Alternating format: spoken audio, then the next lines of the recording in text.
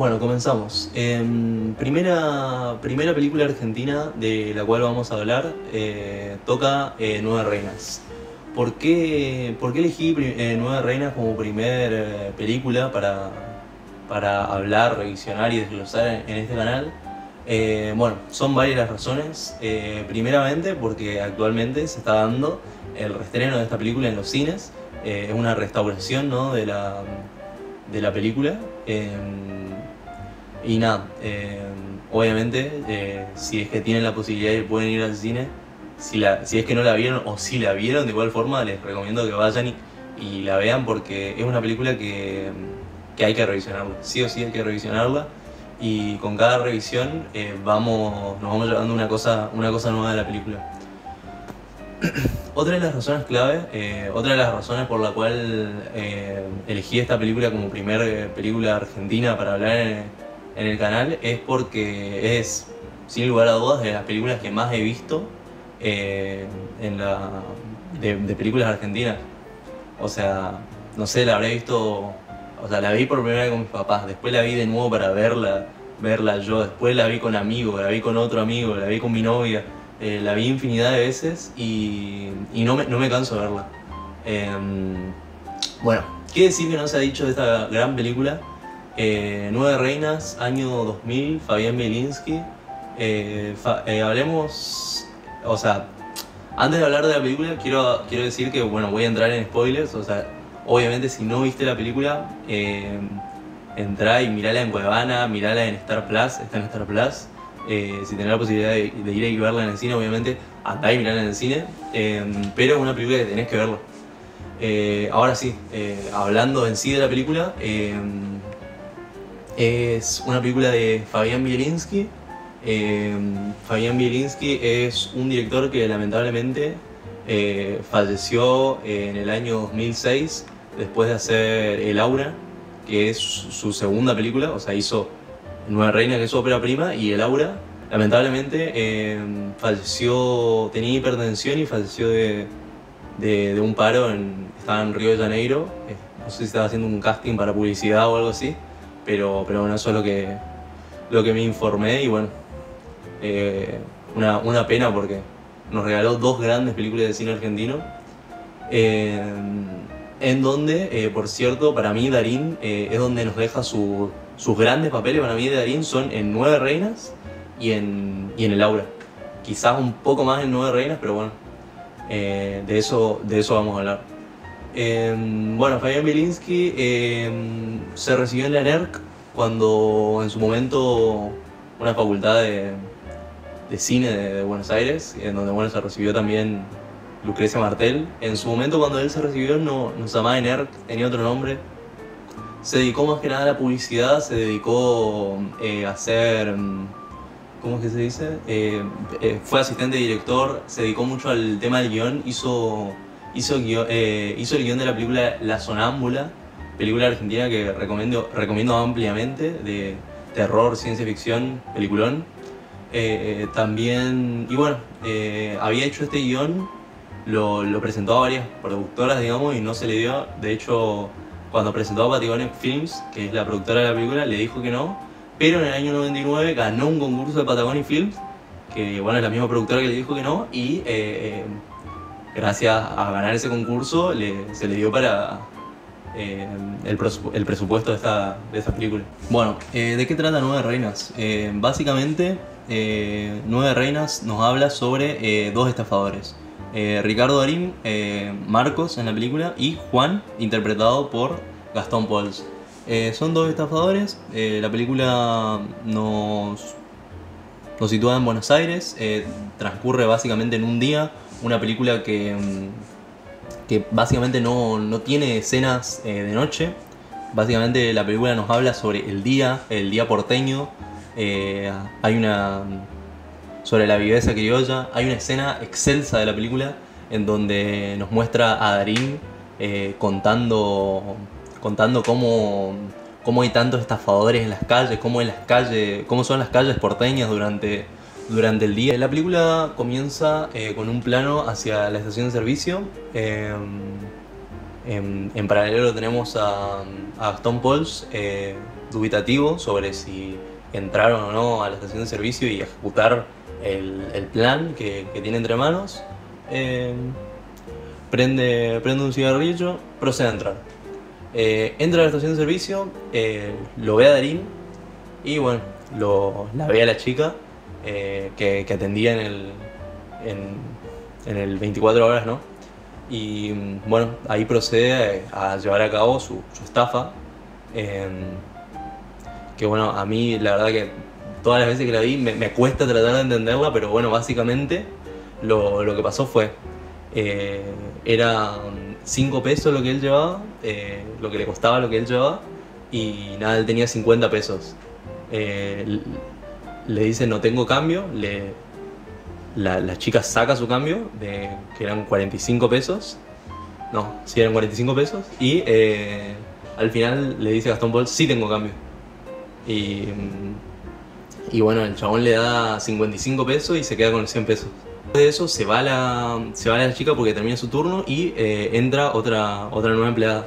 Eh, a, lo cual Gastón Pauls eh, demuestra ¿no? la novatada que, hace y em, vuelve a, hacerle la misma estafa que le hizo a la chica anterior a esta chica.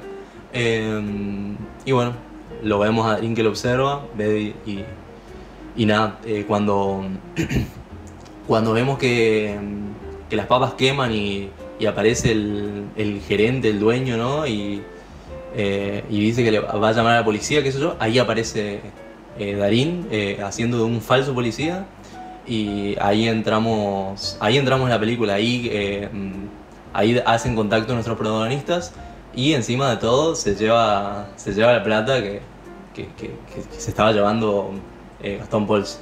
Eh, bueno, después de eso tenemos, tenemos una escena en un, un estacionamiento donde, bueno, se, están conociendo nuestro, nuestros protagonistas. Eh, nos metemos de lleno en la película cuando Sandler, que era uno de los viejos socios de Darín en la película, lo llama eh, para llevar a cabo un, una estafa eh, de unas estampillas, las nueve reinas, hacia un, un gallego que estaba parando ahí en el hotel donde bueno, eh, tuvieron esta, esta conversación de la propuesta a la, estafa eh, en este hotel donde bueno, es, trabaja la, hermana de Ricardo Darín. Bueno, a partir de ese momento nos metemos de lleno en lo que viene a ser la película.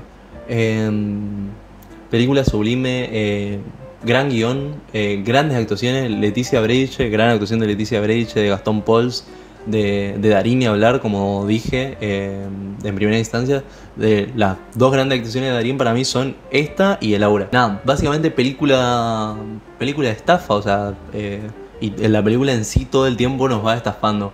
Eh, un ejemplo que puedo dar es en, el mismo, en la misma canción que Gastón Pauls va diciendo durante la película, donde dice hay un tema de, una película de Rita eh, que suena en una película de Rita Pavone, eh, que es El velo de Armatone, que efectivamente no había sonado en ninguna película esa canción hasta en esta película.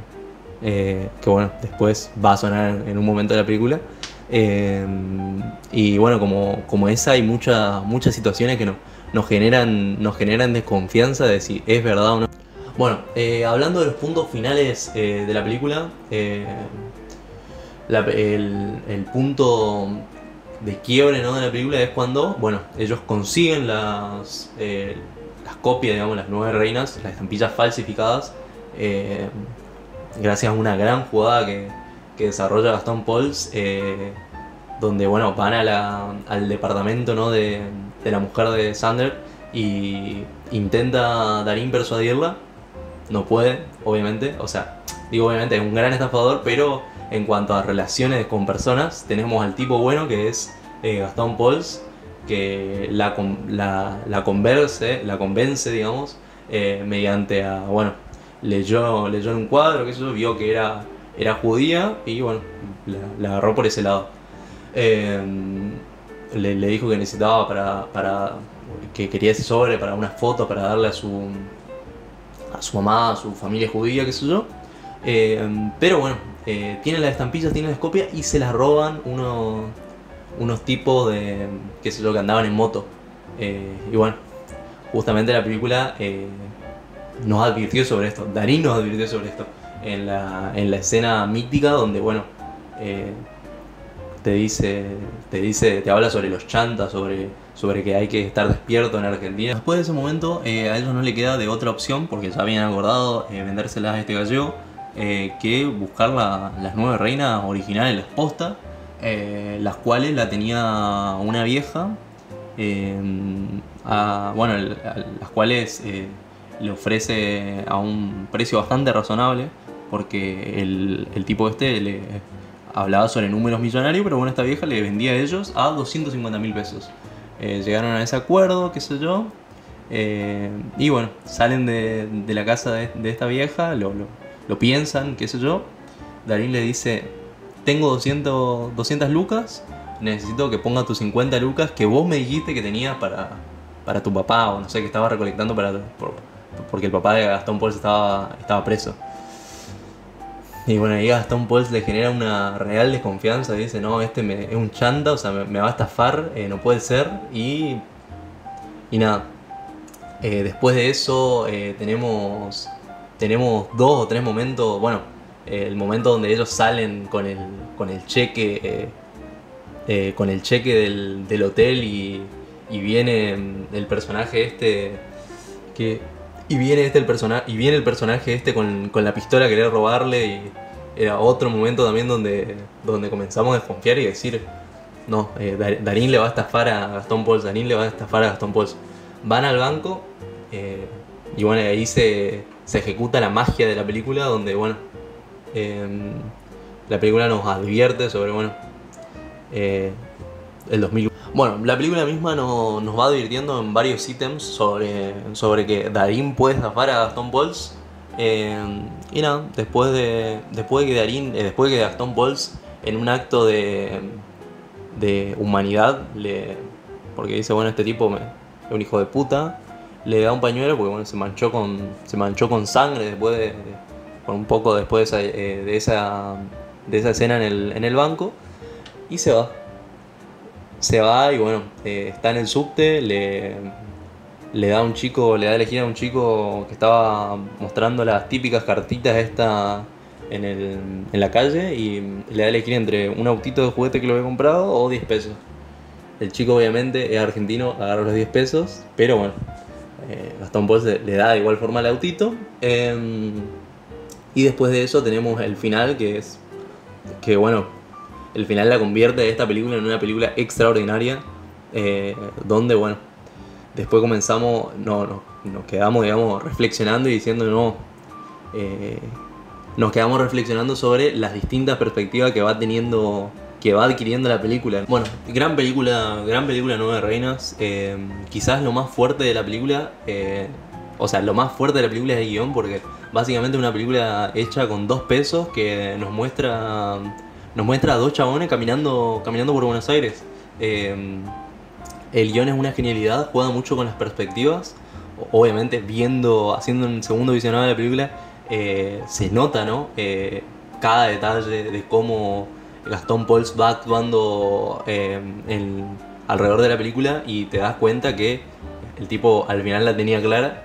Em, y bueno, a mí, yo siempre cuando tenía que describir la película contaba algo sobre la película eh, en primer momento. Bueno, recuerdo cuando la vi por primera vez, pensé, wow, parece como un. Es como un gran capítulo de los simuladores. Pero no, para mí. Eh, bueno, siempre cuando.